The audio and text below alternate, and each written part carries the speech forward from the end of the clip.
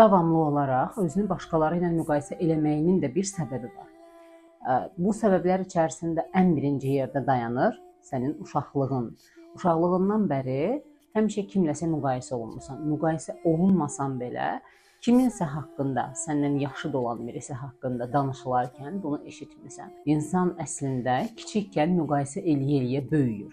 Amma müəyyən bir yaşdan sonra edilən müqayisə daha çox insanın şəxsiyyətini geridə qoyan bir müqayisədir.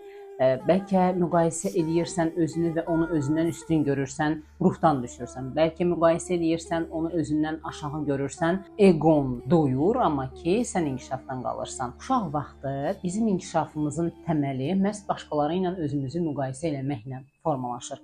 Yəni şəxsiyyətini sən formalaşdırırsan xarakter qazanırsan özünə, mütləq ki, bu ə, ata və ya ana olur daha çox.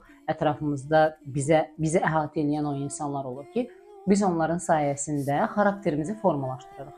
Amma müəyyən bir yaşdan sonra artıq sən kimlənsə müqayisə eləyirsənsə ə, və müqayisə eləyib də burada artıq yamsılamaqdan gedir məsələ söhbət. Yəni başqasını yamsılamağa başlayırsansa, onda olanın eynisini istəyirsənsə və tam ona bənzəmək istəyirsənsə, bu sənin şəxsiyyətini geri qoyur.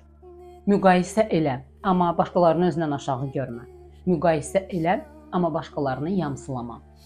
Bir də çalış ki, müqayisə səni sən olmaqdan çıxarmasın, bir başqasının kopyası halına gətirməsin. Səni sən edən özəlliklərdən səni məhrum qoymasın.